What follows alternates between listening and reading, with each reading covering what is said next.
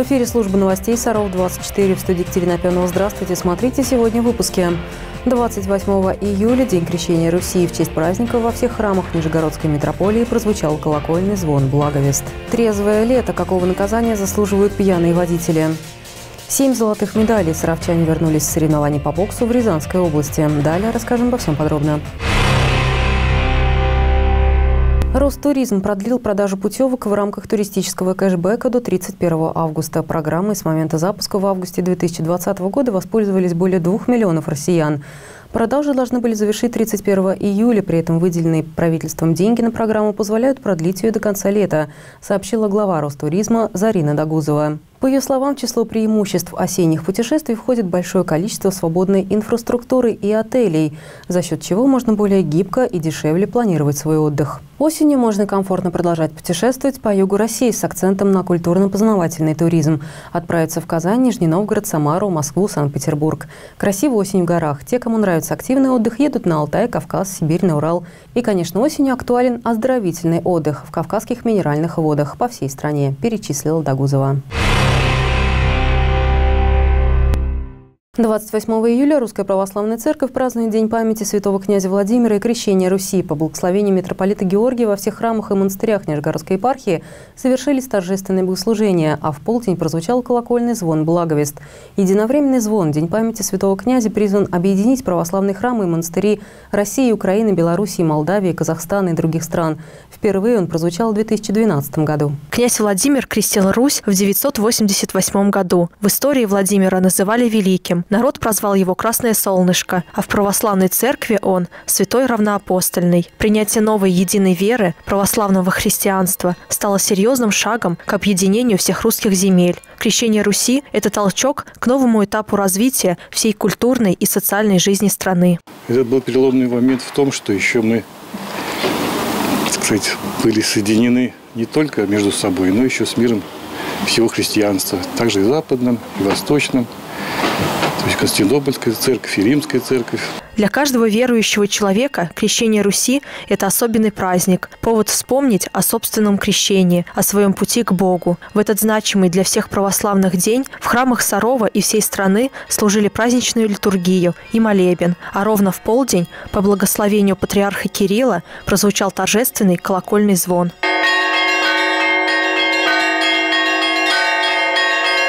Вся Русь была построена именно на вере в Бога, на православии. Все искусство было построено, вся литература была построена вот на этом. И поэтому переоценить, недооценить православие в нашей жизни очень трудно. Поэтому я думаю, что это переломный момент он собрании наших народов, наших племен. Каждый верующий этот праздник призван провести в молитвах и богоугодных делах.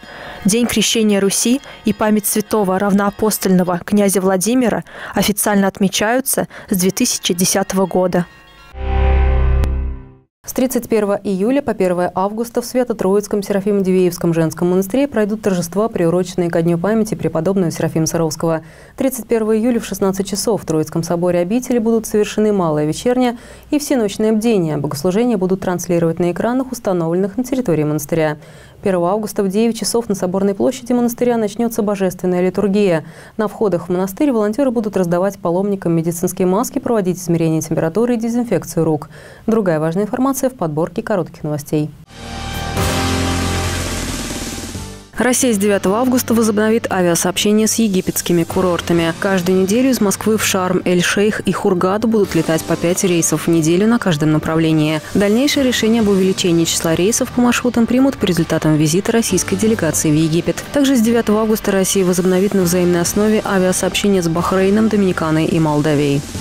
Саровчане могут возместить часть расходов на путевки в детский санаторий или санаторно-оздоровительный центр круглогодичного действия на всей территории России. Компенсация предусмотрена для детей от 4 до 15 лет включительно в размере от 12 108 рублей до 13 838 рублей. Одно из условий пребывания ребенка на смене не менее 21 и не более 24 календарных дней. Перечень документов на компенсацию, заявление установленной формы, согласие на обработку персональных данных, копия всех заполненных страниц паспорта заявителя, копия свидетельства о рождения ребенка или паспорта, если ему уже есть 14 лет, справка с места учебы ребенка, медицинская справка для получения путевки по форме 070У04, копия первой страницы сберегательной книжки или нового документа с указанием номера расчетного счета в банке, расположенном на территории Нижегородской области. Документы необходимо предоставить Департамент по делам молодежи и спорта. Очередность получателей компенсации выстраивается по дате подачи заявления. Кроме того, по возвращении ребенка необходимо предоставить документ, подтверждающий его пребывание в санатории, квитанцию об оплате путевки, обратный талон к путевке, а также заверенные копии лицензии санатория или договор об оказании образовательных услуг. Подробности по телефону 990 62. Жители Нижегородской области смогут получить поддержку в рамках федерального проекта «Самозанятые» национального проекта «Малое и среднее предпринимательство» и поддержка индивидуальной предпринимательской инициативы. Комплексные обучающие программы пройдут в 19 районах и населенных пунктах Нижегородской области, в том числе и в Сарове. Участников ждут два блока – теоретический обучающий тренинг и практический бизнес-игра, в ходе которой самозанятые проработают свои идеи. В планах организаторов научить работе на маркетплейсах и торговых площадках, объяснить, как использовать для продаж агрегаторы товаров и услуг. В финале проекта пройдет конкурс бизнес-планов – Самозанятый, чьи работы комиссия признает лучшими, получит оплату нужных им услуг. Прием заявок стартует в ближайшее время. Консультации можно получить по телефону горячей линии Центра «Мой бизнес» 8 800 301 29 94. Участие в проекте бесплатное. Чаще всего виновниками страшных аварий оказываются автолюбители в состоянии алкогольного опьянения. Количество ДТП с участием пьяных водителей растет с каждым годом. Вождение в нетрезвом виде стоит жизни и здоровья окружающих. В Нижегородской области в этом году сотрудники ГИБДД реализуют проект «Трезвое лето». По телефону 112 жители могут сообщить о водителях, которые сели за руль пьяными. В минувшие выходные в Нижегородской области произошло несколько ДТП с летальным исходом. А в минувшую пятницу Саров сколыхнула новость о страшной аварии с мотоциклистом на улице Силкина. Следствие по тому ДТП сейчас ведется. Сотрудники ГИБДД устанавливают степень вины каждого ее участника. Нередко в подобных трагедиях решающую роль играет алкоголь в крови водителя.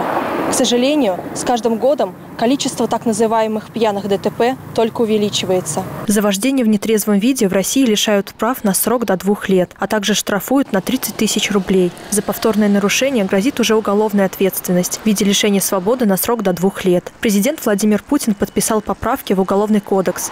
Теперь наказание для водителей, у которых уже есть судимость по пьяным статьям, за повторное нарушение станет более жестким. Как на убийство наверное, такая, потому что они угрозу такую представляют обществу. Пожизненного лишения. Вообще забирать права, рвать и все. И вообще не допускать до руля. Это преступники людей, людям гробят здоровье, все, ну, жизнь портят. Я считаю, самое лучшее – это лишение прав. Ну, ненадолго, хотя бы года на два. Плюс э, штраф. Во-первых, машину нужно отбирать. И я думаю, что все-таки сажать. Ну, во-первых, лишение прав это точно. Ну, и я думаю, что уголовную ответственность и желательно, чтобы э, статья была такая значимая. Сотрудники ГИБДД регулярно проводят рейды и выявляют нетрезвых за рулем. Если есть подозрение, что человек ведет автомобиль в пьяном виде, его отправляют на медицинскую экспертизу. Если наше свидетельствование который проводит сотрудник госавтоинспекции, не показывает наличие опьянения, то мы тогда отправляем человека на медицинское свидетельствование. У человека а, отбирают биосреды, а, обычно мочу, и направляют уже на химика токсикологическое исследование мочи. За минувшие шесть месяцев в Сарове задержано 115 водителей в состоянии алкогольного опьянения. В июле таких автолюбителей порядка 16 человек. В этом же месяце по вине водителей в нетрезвом состоянии произошло два ДТП с пострадавшими. Светлана Ярунова, Евгения Шевцова, Сергей Рябов. Служба новостей Саров, 24. В КБ номер 50 поступило небольшое количество вакцины «Эпивак» и «Спутник Лайт». До конца недели ожидают прибытия еще одной партии. Также поступит «Ковивак». Полностью привиты двумя компонентами. В Сарове уже 18 335 человек. Между тем, Минздрав России обновил временные методические рекомендации о вакцинации взрослого населения от коронавирусной инфекции к противопоказаниям, на основании которых может быть оформлен постоянный медицинский отвод от прививки, относится гиперчувствительность к какому-либо компоненту препарата, тяжелые аллергические реакции в анамнезе, период грудного вскармливания, острые инфекционные и неинфекционные заболевания, обострение хронических заболеваний – повод для оформления временного медицинского отвода. Через 2-4 недели после выздоровления или ремиссии можно сделать прививку. Беременность – не противопоказание для вакцинации спутником ВИ, уточнили в Минздраве. Если у пациента обнаружено противопоказание к вакцинации, врачебная комиссия медучреждения, где наблюдается больной, выдает ему справку на определенный период или постоянно в зависимости от типа противопоказаний. Если у пациента определены временные противопоказания, то справку дадут сроком на 30 дней. Затем нужна будет повторная консультация специалиста. За минувшие сутки в России выявили 22 420 новых случаев заражения коронавирусом. 544 из них в Нижегородской области. В Сарове за день заболел еще 21 горожанин. Из тех, кто госпитализирован, двое находятся в тяжелом состоянии. Перепись населения проведут в нашей стране с 15 октября по 14 ноября на две недели позже, чем планировали. Такое решение в Росстате объяснили тем, что в ее организации будут задействованы ресурсы и люди, занятые также в сентябрьских выборах.